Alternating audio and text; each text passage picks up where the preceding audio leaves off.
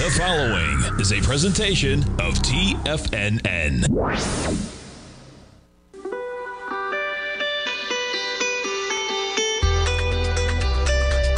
The Morning Market Kickoff with your host, Tommy O'Brien.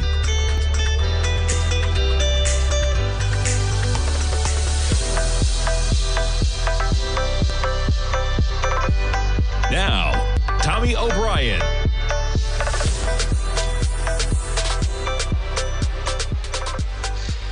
Good morning, everybody. I'm Tommy O'Brien coming to you live from TFNN. Great to be back at the beginning of the show.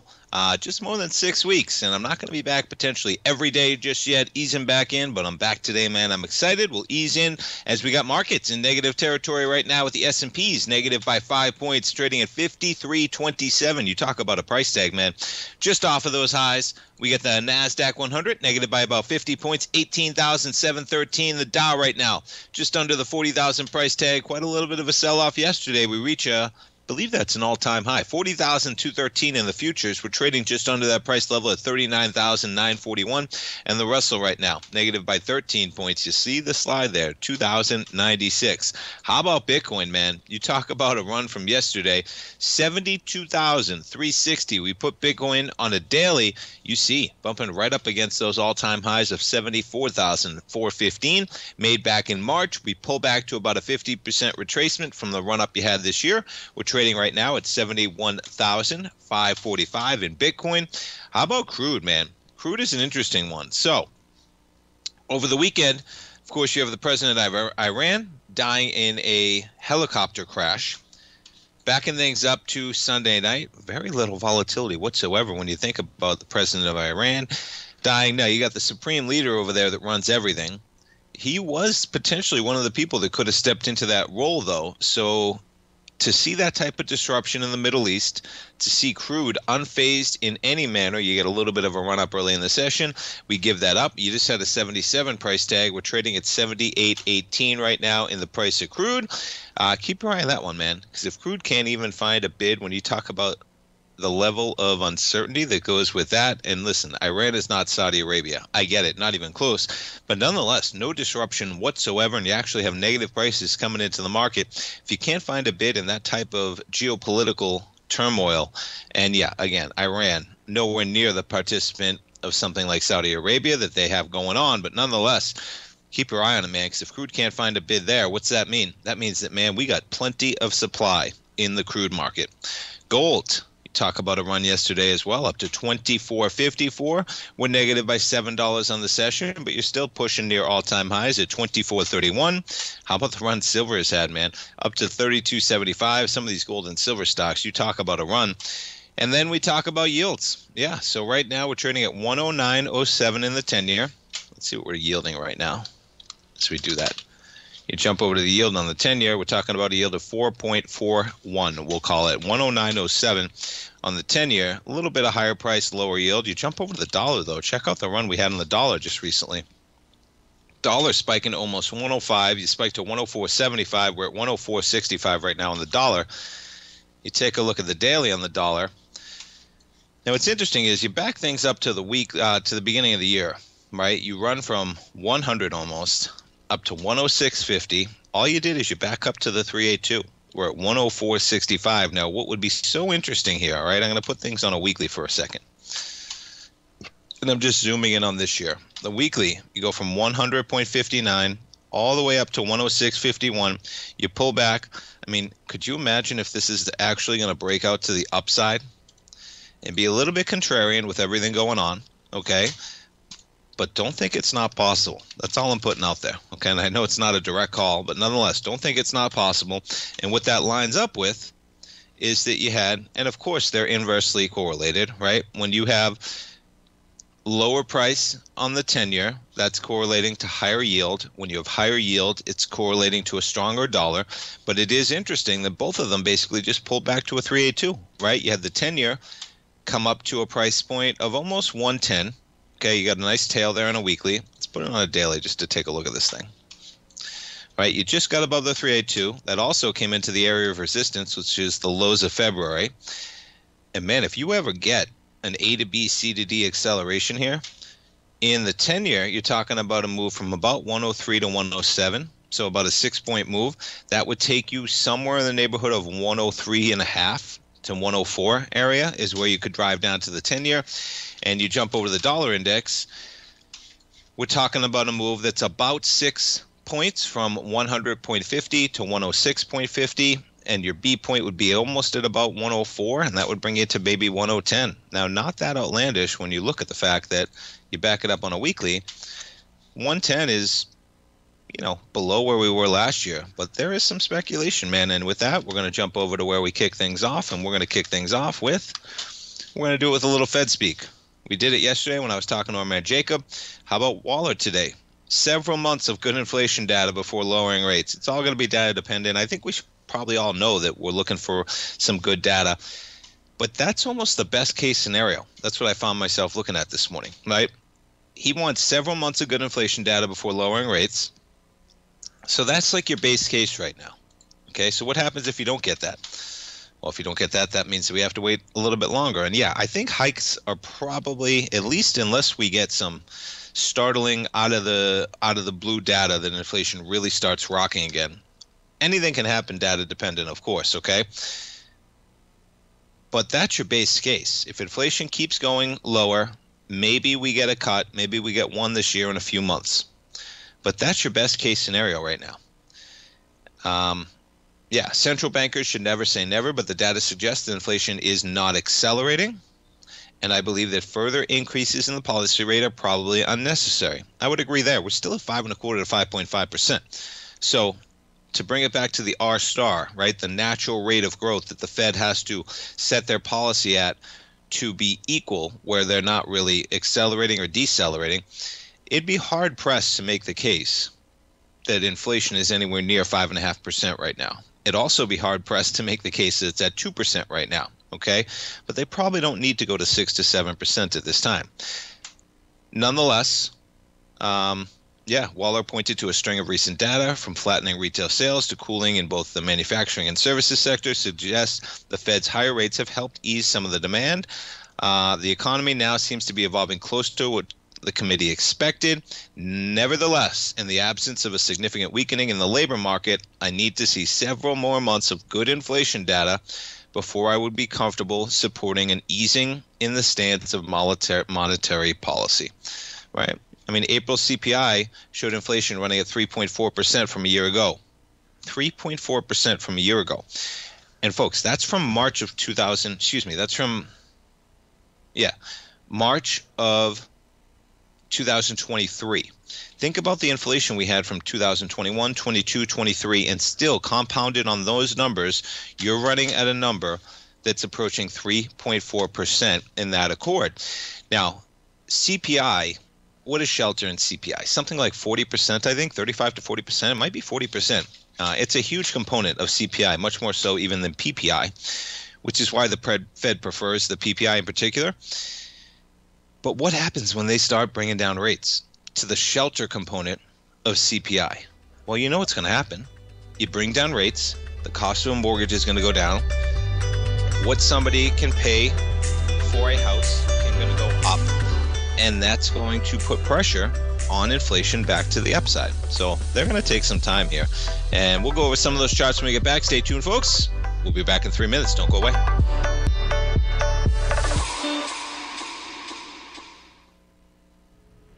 If you're looking for potential trading setups in the stock market, then Rocket Equities and Options Report is a newsletter you should try. Tommy O'Brien delivers options and equity trades when the markets present them using a combination of fundamentals and technicals. Sign up for Rocket Equities and Options Report today with a 30 day money back guarantee so you have nothing to risk. For all the details and to start your subscription today, visit the front page of TFNN.com. TFNN, educating investors.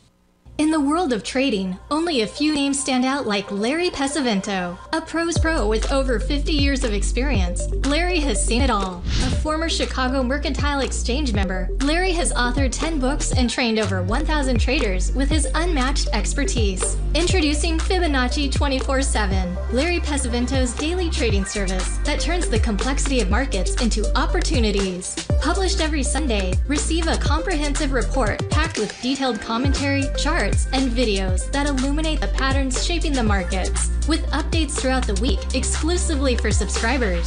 Whether through charts or videos, Larry's analysis is your roadmap to navigating the markets. You can sign up now at TFNN.com for just $97. And with all TFNN newsletters backed by a 30 day money back guarantee, you have nothing to risk. For all the details, visit TFNN.com. You'll find Fibonacci 24 7 right under the newsletters tab. TFNN has launched the Tiger's Den. Hosted at Discord, TFNN has been educating traders for more than 20 years with live programming hosted by a variety of professional traders during market hours. The Tiger's Den, available to all tigers and tigresses for just $1 for the year. There's no catch or added costs when you join our community of traders. Sign up today and become a part of this educational community of traders. Just visit the front page of TFNN.com.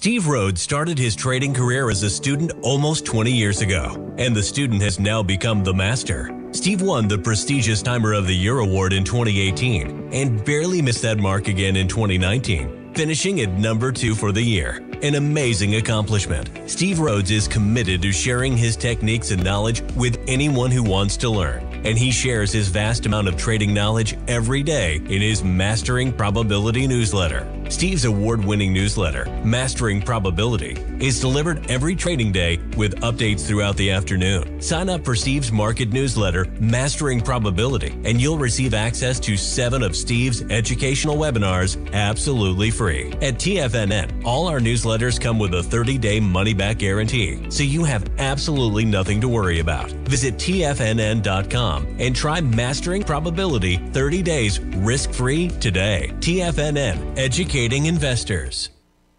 This portion of the morning market kickoff is brought to you by Direxion's daily leveraged and inverse ETFs. Whether you're a bull or a bear, you choose the direction. Visit direxion.com. Investing in the funds involves significant risk and should only be utilized by investors who understand the impact of leverage and actively monitor their portfolio. They are not designed to track the underlying index or security for more than a day. Before investing, carefully consider a fund's investment objective, risk, charges, and expenses contained in the prospectus available at direxion.com. Read carefully. Distributor Foreside Fund Services, LLC.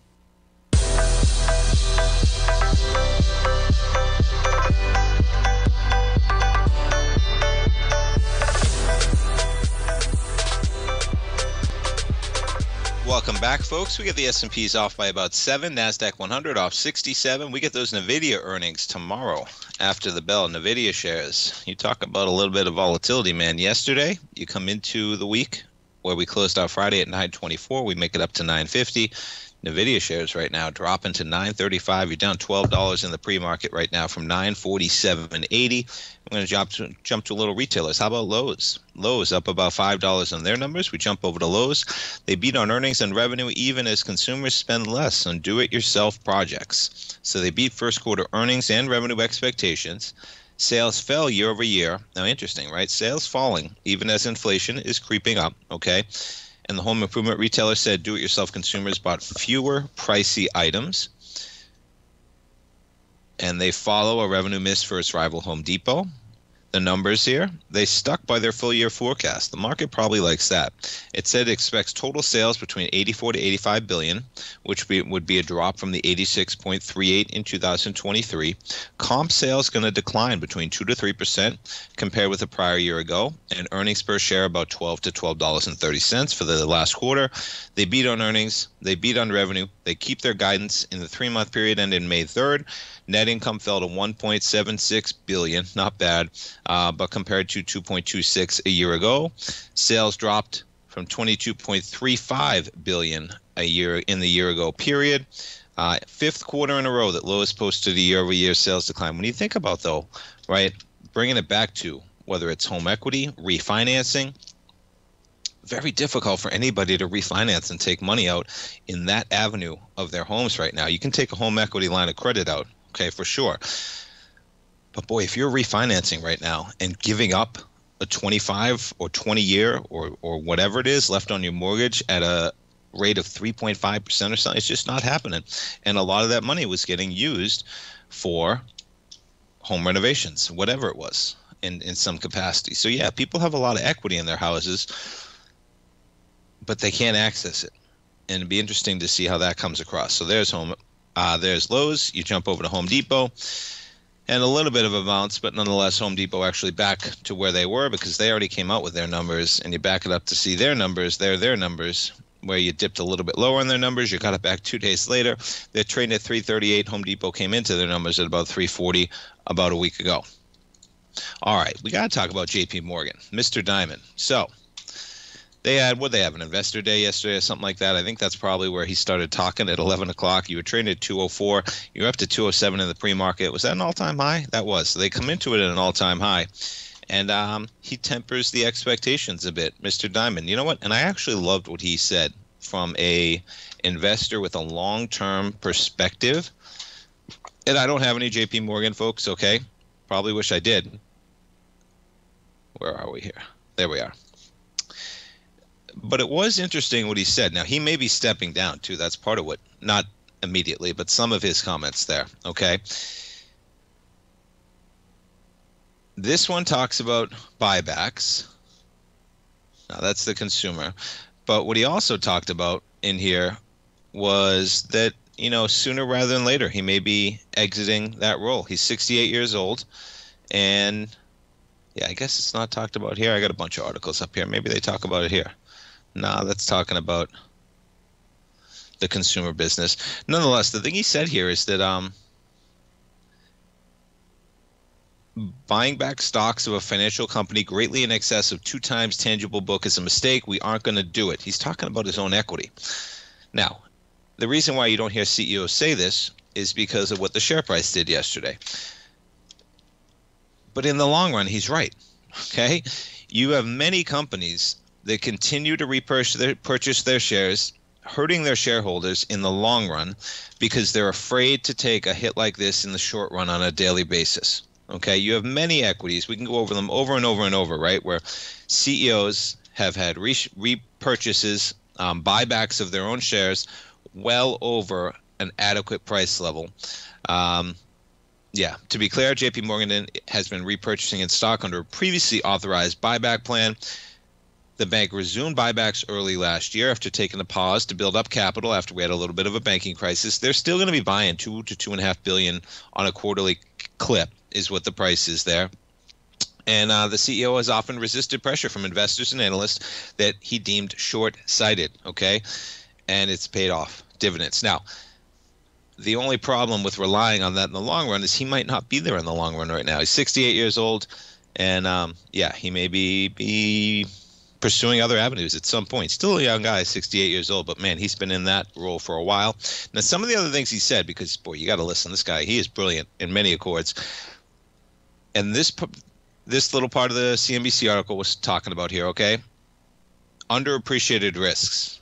All right, doesn't mean they're going to happen, but you want to be aware of the risks I like to use the phrase, what's the probability? Probability is greater than zero. Well, you better be able to trying to assess where that lies. And if it's greater than zero, it's a possibility that can occur. Underappreciated risks. On multiple occasions, he said he was cautiously optimistic, excuse me, pessimistic, not optimistic, pessimistic about economic risks, including those tied to inflation, interest rates, geopolitics, and the reversal of the Fed, uh, Federal Reserve's bond buying program. Markets are currently underappreciating those risks, Dimon said. For instance, price of high quality corporate bonds do not adequately reflect the potential for financial stress. So keep this in mind on a longer term macro basis. Okay, you got to listen to what he said because he's not talking up his own book when he's saying that I'm not buying my own shares when we're trading twice book. Okay. The investment grade credit spread, which is almost the lowest it's ever been, will be dead wrong. It's just a matter of time.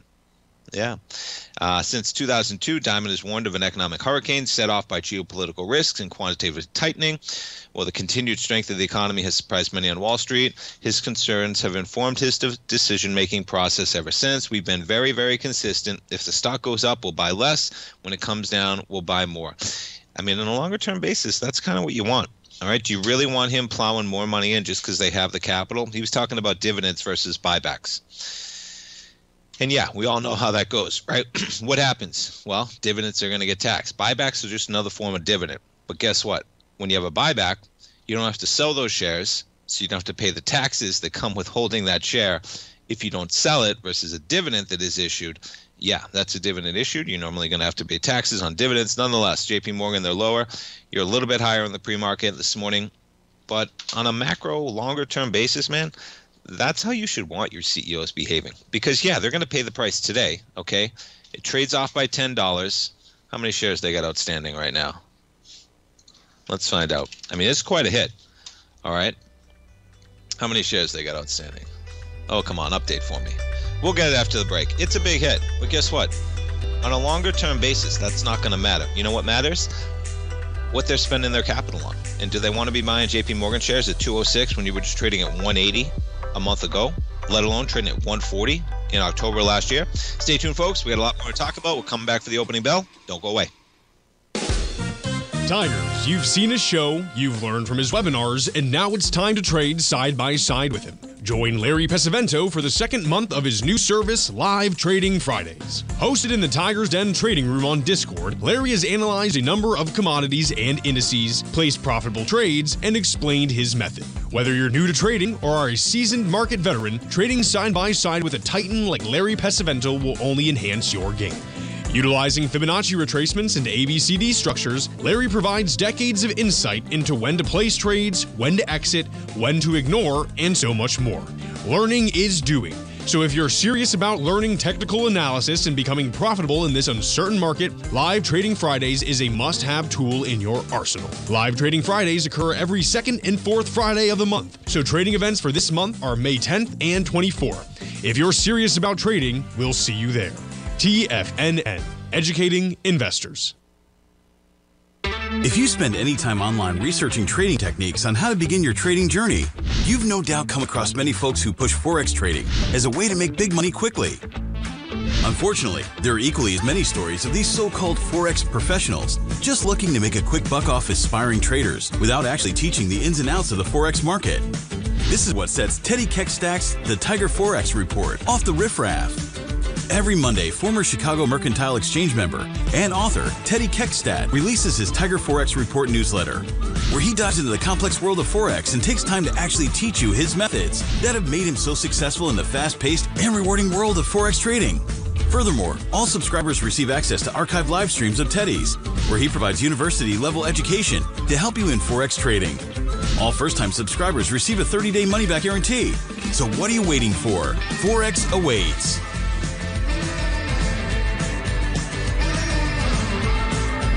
The stock market is a delicate interconnecting web of commodities, equities, and trader psychology.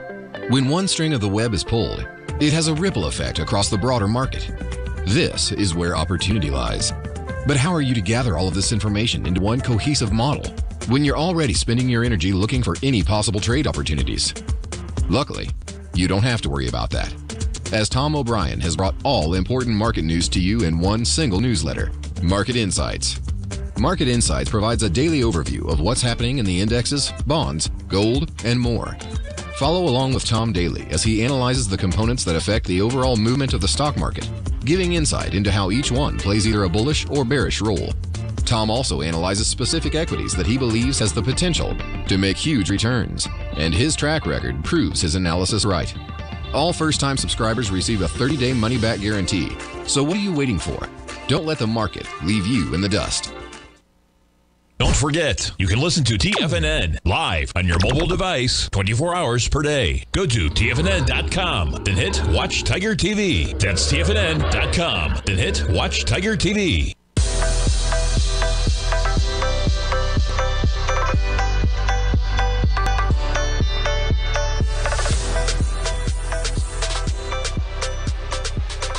Welcome back, folks. We got the S&Ps negative by 7, Nasdaq 100 negative by 76 right now. We got Nvidia out with their numbers tomorrow. We dip a little bit lower. You're down by 12 bucks or 1.3%. We jump around to some of the other big tech companies out there. Apple shares right now flat at 191. You jump over to Microsoft shares up a bit, trading at 425. You jump over to Amazon shares down 1% at 181.70 this morning excuse me, we jump over to Google shares. Google down about four tenths percent, and we jump over to Taiwan Semiconductor down about a half a percent. This article up there from Bloomberg, I believe it's this morning, right? Yeah, this morning, early this morning, updated about 6:30.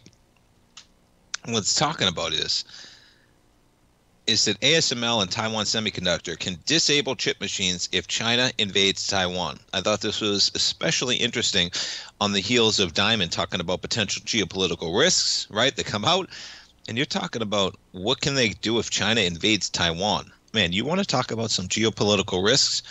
If China ever invades Taiwan, folks, watch out for the market, let alone humanity, on the day that they do that, because these two companies disabling their chip machines, if China invades Taiwan, it's not going to solve all the problems in the market on that day. And I know that you probably understand that to a certain degree. But here the articles are coming out, and make sure you're aware at least of the risks geopolitically geopolitically that exist right now.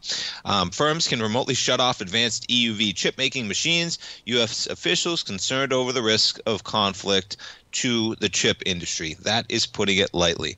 Um, nonetheless, they supposedly have ways to disable the world's most sophisticated chip making machines in the event that China invades Taiwan. Folks, China invades Taiwan and they take over those chip manufacturing plants. You know, there is going to be a substantial disruption at this time. And unfortunately, I think it's a matter of when, not a matter of if, that that happens in some degree.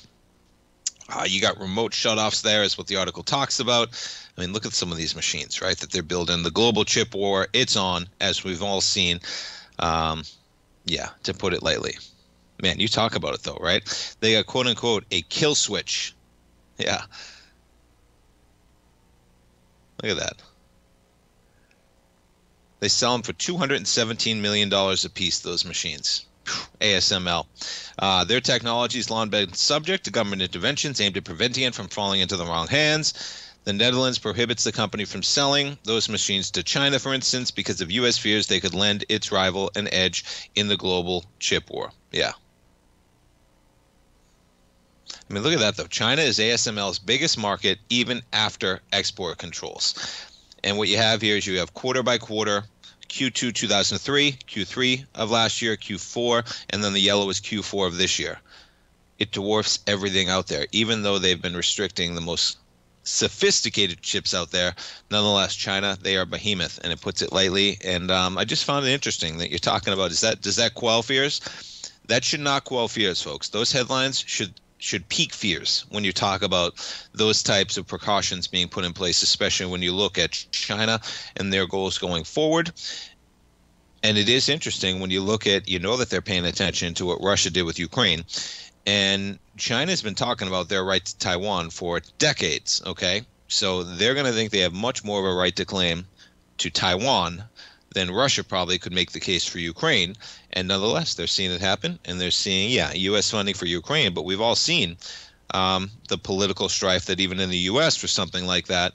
And nonetheless, the chip war is on. We jump over to more retailers. Macy's profit beats estimates. Turnaround shows profit. Department store chain raises earnings outlook for the year.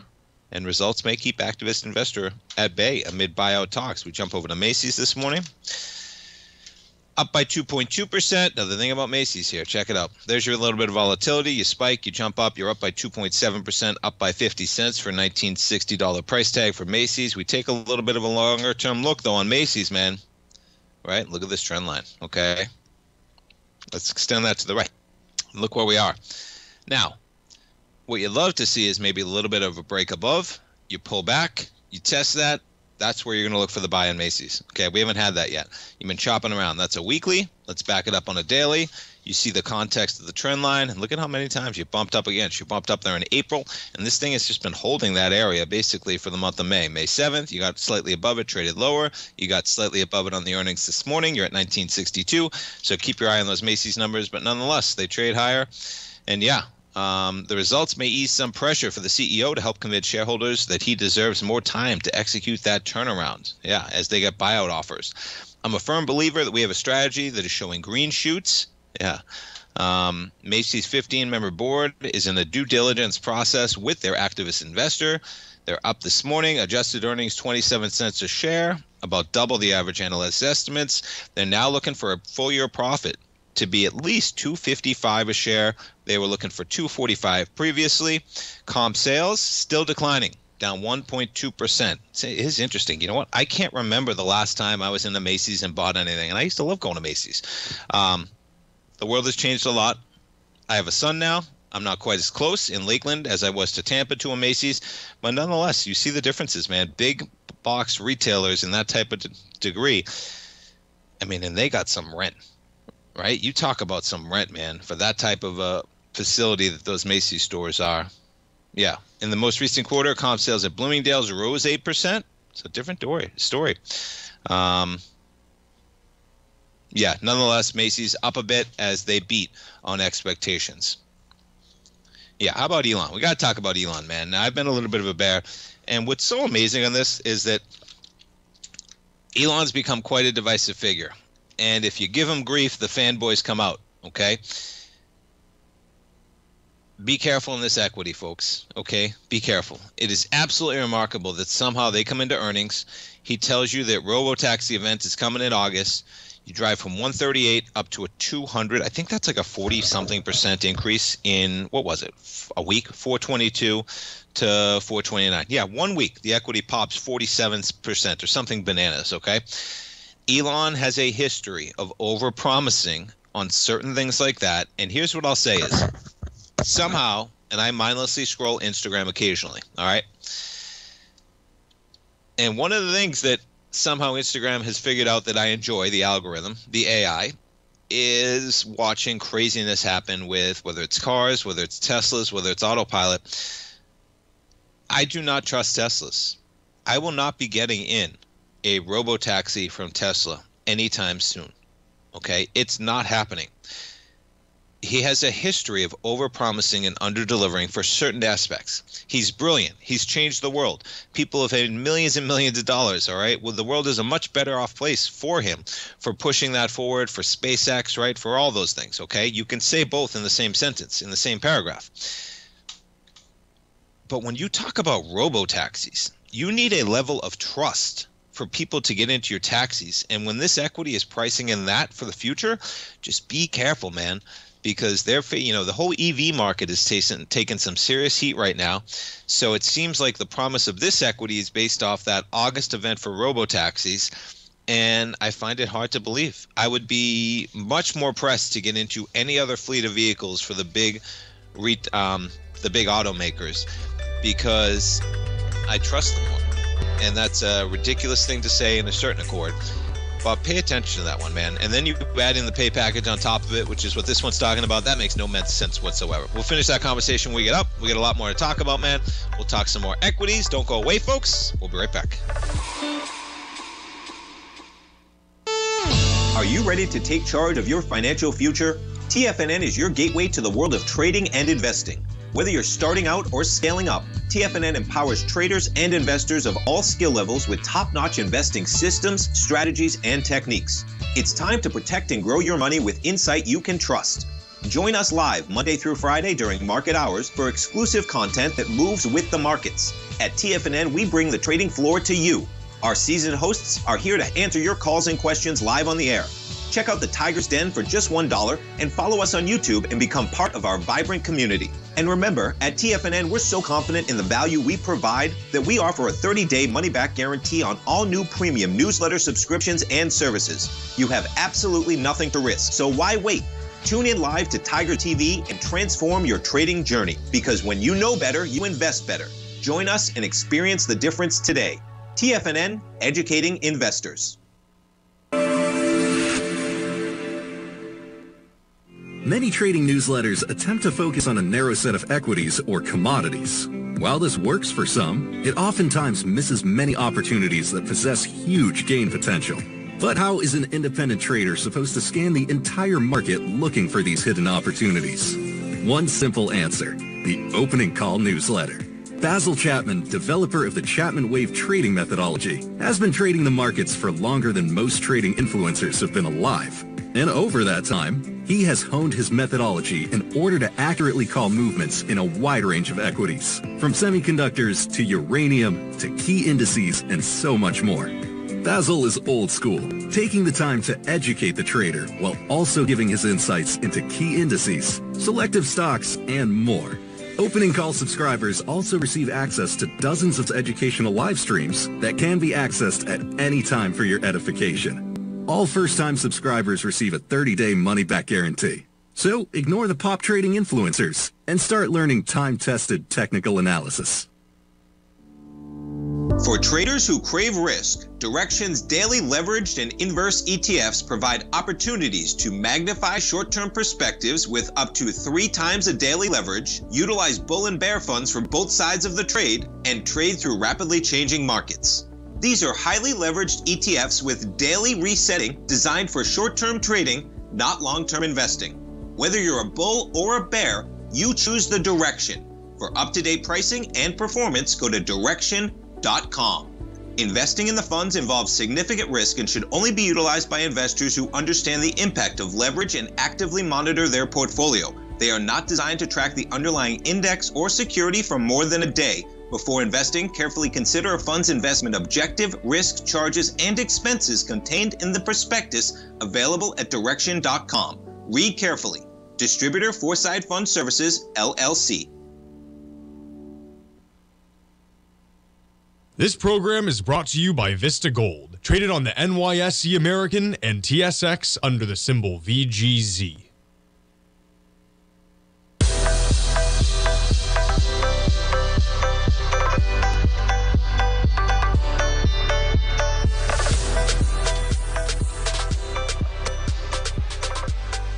Welcome back, folks. We got the S&P down about five right now. Nasdaq 100 off 54. The Dow off 17. How about Bitcoin hanging tough at 71,000? Crude hanging lower at 78.46. We check in on the gold market this morning. Gold down about seven dollars. I mean, check out gold though, right? You talk about it, man. Gold. I mean, look at where the way you're pushing some of these highs on a weekly basis. Gold trades up to a high of 24.48 on the week of April 8th. You do it on about 1.6 million shares.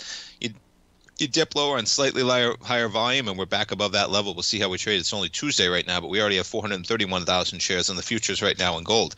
Pretty remarkable acceleration. We go back to Tesla shares now. So this one from the journal that we're talking about here, okay? And what is interesting, let me get that article up. There it is. So the journal here is talking about an um, a shareholder group sending a letter and I'm sure that letter is going to matter to the board, right? No. Uh, shareholder group slams Elon's $56 billion pay package. Eight holders write a letter raising a litany of governance issues. Investors are voting again on that unprecedented payout. Now, one thing that's worth noting here is, man, the flagging share price since he disclosed his Twitter stick, okay? You have the S&P 500 up by 15% and you have Tesla shares down 54%. This is since he purchased Twitter. Now, you could make the case that Elon was aware that Tesla shares were overvalued, created a little bit of a smoke screen, and this is I would make that case, okay, to allow himself to sell shares at an overvalued price without saying that he just wanted to do it for that reason. He said he had to do it to buy Twitter to save free speech. Nonetheless, Tesla shares are down 54%. The market's up 15.8. Remember when he was out there for the longest time slamming the Fed as the reason why the market was getting hammered? Turns out that they're an anomaly right now in this market as they have been getting hammered. Now, one of the reasons why, bringing it back to that pay package, okay, that he demanded the 2018 pay, pay package was that he needed that type of incentive to stay focused on that one company. Otherwise, as an entrepreneur, okay, he was going to pursue other paths. This flies in the face of that pay package. What did he do? He went out, he bought another company. I mean, how much time does he spend on Twitter, on that acquisition, in that office, right? No other CEO would get away with this. And yeah, as that's happened, the company has underperformed dramatically. So I don't understand the logic. Even with the logic that they are spinning, it makes no sense whatsoever because he hasn't remained consistent to that company. The only reason that he got that type of a pay package was the board argued that he was a special case, he's pertinent to the role, and the only way to keep him invested is to give him incentives that defy logic, basically. And what did they do? They gave him that pay package, and what did he do? He sold shares, bought another company, spent a bunch of his time pursuing that other company, and since he purchased that other company privately, his equity is down 54% and the market is up 16% over that time. You got to remain with the facts. Now, here's some anecdotal evidence to go on top of it, okay? Yes, a lot of that company is based off of stories right now. Okay, it's not based off of how much they sell per vehicle. All right, that's for sure. What is interesting though is when you start looking at the absolute maniacal numbers that he's dealing with with a pay package of 56 billion dollars. Number 1, what are we talking about from a market cap right now? 570 billion dollars. So that is saying right now, oh no, that was JP Morgan. Hold on. It's probably pretty close though, right? Is it? What are they at? No. Okay, that is Tesla. $570 billion is what Tesla's market cap is right now. That's giving him 10% of the company to remain as CEO. That means if you own shares at 180, you're giving him an $18 pay package as CEO. It's a remarkable pay package. Now, when you take the $56 billion, okay, just looking at the amount of cars that they sold last year. Now, yes, things are ramping up, okay? They are ramping up, but they're not going to ramp up how they ha- as they have. But I'm just taking 2023 numbers. They sold 1.808 million cars. I'm just going to ballpark it at 1.8 million cars. Okay, that's how many they sold, delivered worldwide last year. 1.8 million cars. If you take 56 billion dollars and you divide it per car, that is giving Elon $31,000 per vehicle that they sold last year. It's insanity, folks. Okay. And, you know, part of the reason why he wanted to sell all those shares to buy Twitter is because he's got the biggest bully pulpit in the world right now. All right. Nothing like being the biggest uh, voice out there. You're the richest man in the world. I'm surprised more people with that type of money don't make those types of acquisitions to control a speech the way that he now does. I'm all about free speech, okay? Um, but he is now the arbiter of free speech. And what better to spend your money on as the richest person in the world than becoming the arbiter of free speech when you talk about who gets to be that decider? But, you know, stay on to, to back it up for a second.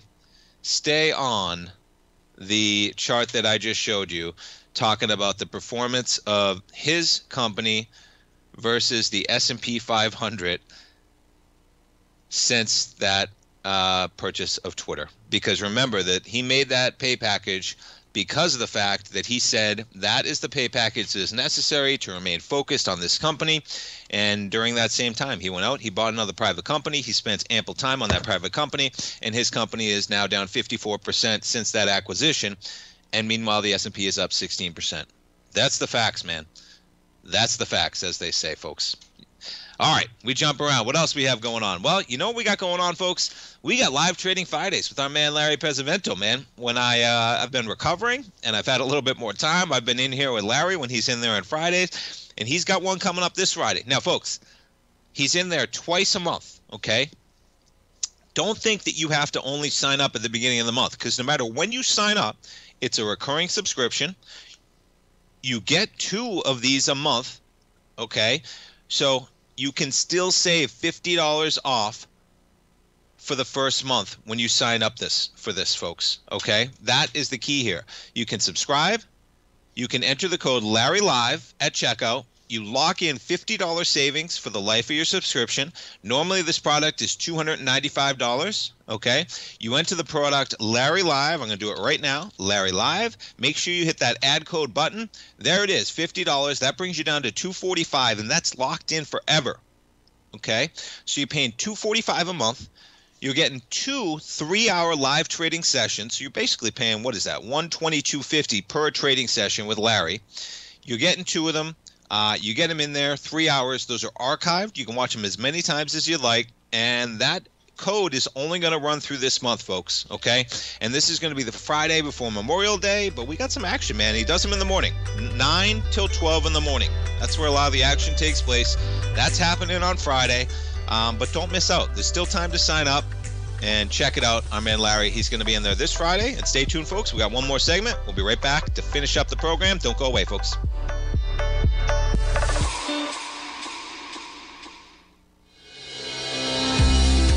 The Gold Report. As a precious metal, gold is still king. It continues to hold the most effective safe haven and hedging properties across the global major trading hubs of the London OTC market, the US futures market, and the Shanghai Gold Exchange. The Gold Report.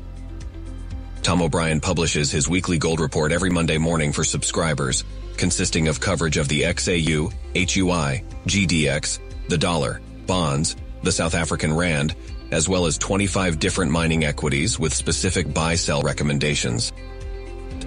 The Gold Report. New subscribers get a 30-day money-back guarantee so you have nothing to risk.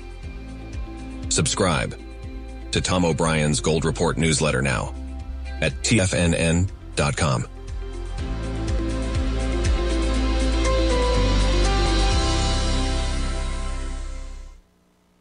Steve Rhodes started his trading career as a student almost 20 years ago, and the student has now become the master. Steve won the prestigious Timer of the Year award in 2018 and barely missed that mark again in 2019, finishing at number two for the year. An amazing accomplishment. Steve Rhodes is committed to sharing his techniques and knowledge with anyone who wants to learn, and he shares his vast amount of trading knowledge every day in his Mastering Probability newsletter. Steve's award winning newsletter, Mastering Probability, is delivered every trading day with updates throughout the afternoon. Sign up for Steve's market newsletter, Mastering Probability, and you'll receive access to seven of Steve's educational webinars absolutely free. At TFNN, all our newsletters come with a 30 day money back guarantee, so you have absolutely nothing to worry about. Visit TFNN.com and try Mastering Probability 30 days risk free today. TFNN, educating investors.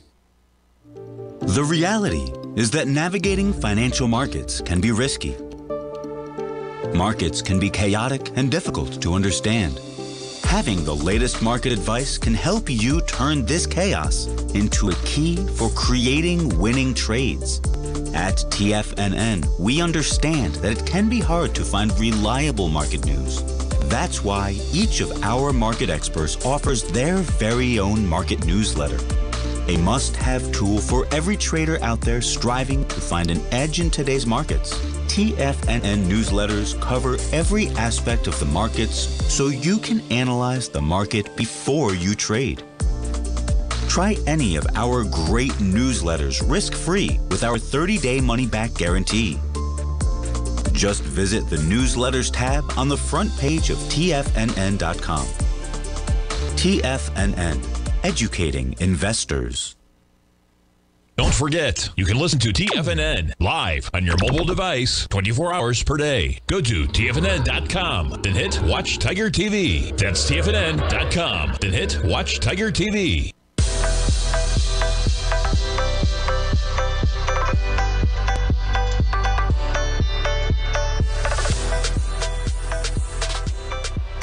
Welcome back, folks. We got a chart of Boeing up here. Boeing off 1.8% right now. Now, the headline out there, um, unfortunately, Singapore Air seems like they hit a pocket of air. But what was interesting is in this story, one dead, fortunately 30 injured as Singapore Airlines flight encounters severe turbulence. The reason why I bring this up most is anytime I, I see an article, anecdotal, okay, anytime I see an article now, I find myself saying, what kind of plane is that? Is that a Boeing plane? Just think about that for a second because I'm not the only one, folks. Okay, and guess what? It's a Boeing airplane. Seems like they hit a pocket of air, but did they? Is there a matter? Um, We can confirm that there are, are injuries and one fatality aboard a Boeing 777-300ER. The company said an initial update on Facebook. The airport official said that the decreased uh, deceased person, 73-year-old British national, Reuters reported. Uh, 18 individuals have been hospitalized. But just think about the shift in brand that anytime I see anything going on with an airline, I say, is that a Boeing? Is that a Boeing? Yeah, and they're off 1.8% today.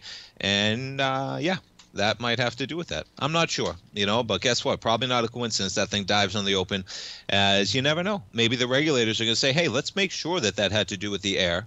And let's make sure that they don't have some quality issues that allowed that to be an exacerbated issue versus if the airline, the aircraft had been up to date, whatever it is, right? You get the point. Pretty remarkable, uh, the brand tarnish that has happened on that company.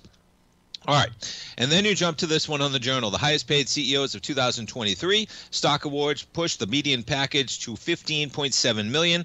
Tech, tech execs, not surprising, top the list. Um, interesting, though, when you look at this number in light of Elon pushing for $56 billion. This is the total comp of CEOs, median number, median, okay, right in the middle of the pack. 15 million bucks is what the number is, including equity awards, including equity awards. And meanwhile, you got Elon pushing for what? 11 billion dollars a year as his company's down 56% since he purchased Twitter. Okay? Don't get caught up in the rhetoric, folks. That Elon package is just uh, bonkers, to put it lightly. Blackstone, 120 million. Said the company's 83% total return surpassed U.S. asset managers. Yeah, not surprising. Nonetheless, thanks for tuning in, folks. Stay tuned. We got our man Basil. He's coming up next. He did his show at 8 o'clock. Live programming after that. Great to be back. We'll see you tomorrow, folks. Have a great day.